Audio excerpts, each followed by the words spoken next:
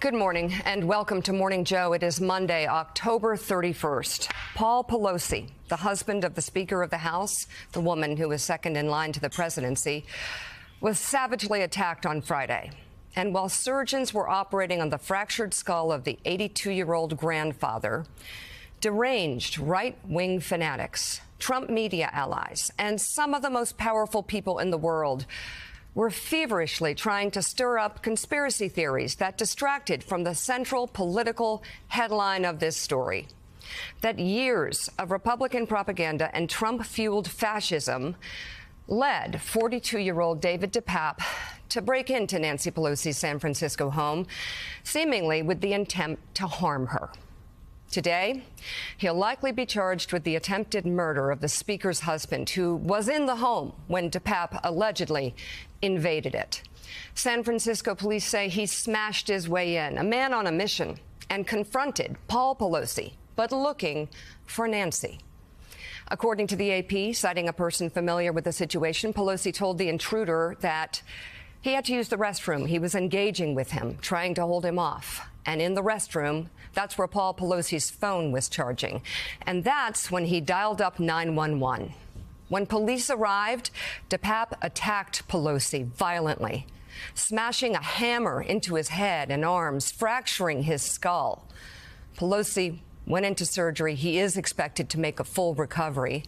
Police say zip ties were found at the scene, just like the ones found on those who were hunting Nancy Pelosi at the Capitol on January 6th. And that's not the only similarity. Before attacking Mr. Pelosi with a hammer, a source tells NBC News DePape shouted at him, Where's Nancy? Where's Nancy?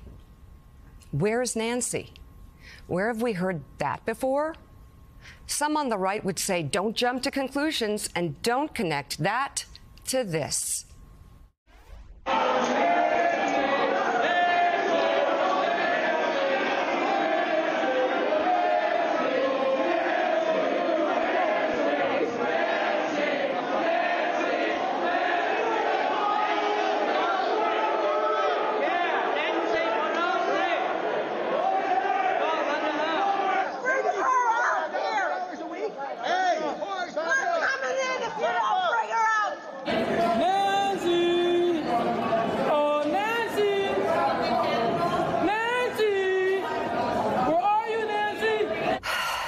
Connection? What connection? I don't see a connection. Why would there be a connection? I mean, he was just deranged, right?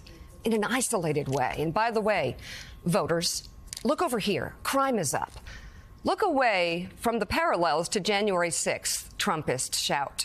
A review of David DePape's online accounts shows he was part of a far right world of hate, anti Semitism, and conspiracy theories involving anti vax hysteria, voter fraud, and many of his posts published in the past few months. But don't, don't look at that. Ignore the fact that these right wing screeds line up with the biggest lies propagated by Trump and Trumpists. He was deranged, after all. I mean, just isolated.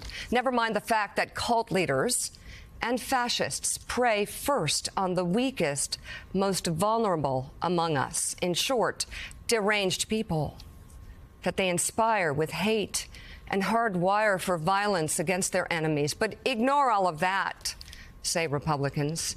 After all, this political attack was just another example of rampant random crime. When you let dangerous criminals out, out on the streets, you know, with bail and not put them in prison, you're, you're just asking for this, this sort of incident to happen. And I think it created the environment where this happens. So it's a convergence here of what has been political violence uh, we've witnessed, the rise of just crime on our streets and our subways. We all need to recognize uh, violence is up across the board. I think the other thing to remember is if this weren't Paul Pelosi, this criminal would probably be out on the street tomorrow. Other Republicans found this tragedy of an 82 year old grandfather getting his brains bashed in with a hammer a political punchline, like Virginia Governor Glenn Youngkin, who saw the attempted murder of Paul Pelosi as a good opening line. Take a listen. Speaker Pelosi's husband, uh, they had a break in last night in their house and he was assaulted. There's no room for violence anywhere, but we're going to send her back to be with him in California. What? There's no room for violence.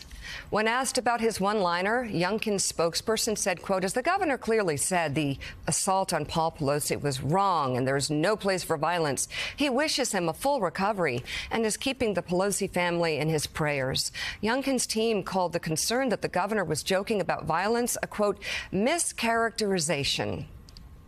When not making jokes about the attack, other Trumpists were spreading lies about it to make you look away. Take one unfounded anti LGBTQ conspiracy theory claimed to be tied to the attack.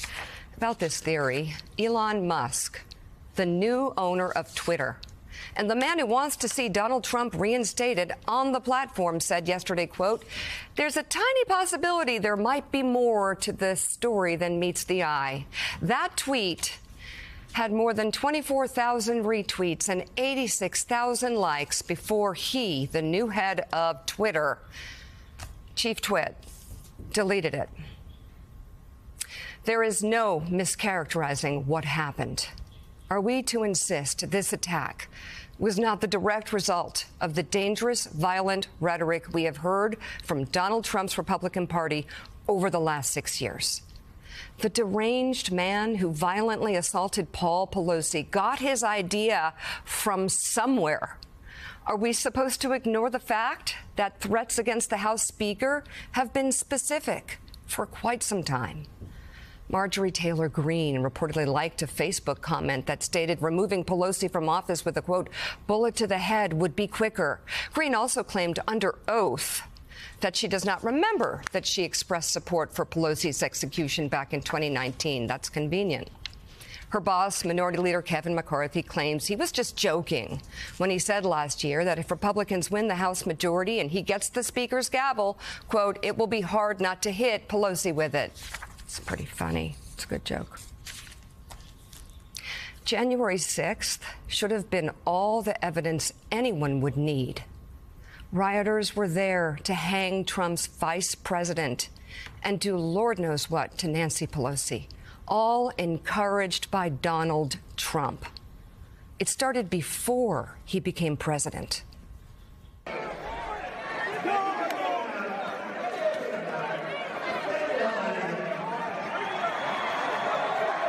This guy started screaming by himself, and they did, I don't know, rough up. He should have been, maybe he should have been roughed up because it was absolutely disgusting what he was doing. So if you see somebody getting ready to throw a tomato, knock the crap out of them, would you? Seriously. Okay? Just knock the hell. I promise you, I will pay for the legal fees. I promise. I promise. We're not allowed to punch back anymore. I love the old days. You know what they used to do to guys like that when they were in a place like this? They'd be carried out on a stretcher, folks. Like to punch him in the face, I'll tell you. We having a good time? USA, USA.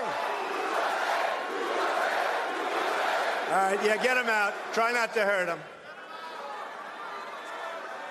If you do, I'll defend you in court. Don't worry about it. In the good old days, this doesn't happen because they used to treat them very, very rough. And when they protested once, you know, eh, they would not do it again so easily. Isn't it great to be at a Trump rally, really? Right? Part of the problem and part of the reason it takes so long is nobody wants to hurt each other anymore, right?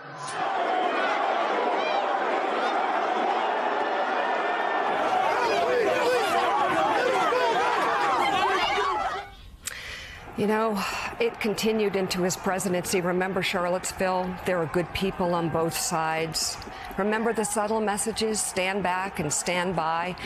When left unchecked, Trump led an increasingly desensitized nation through shocking moment after shocking moment, all the way through this, the January 6th attack on the Capitol.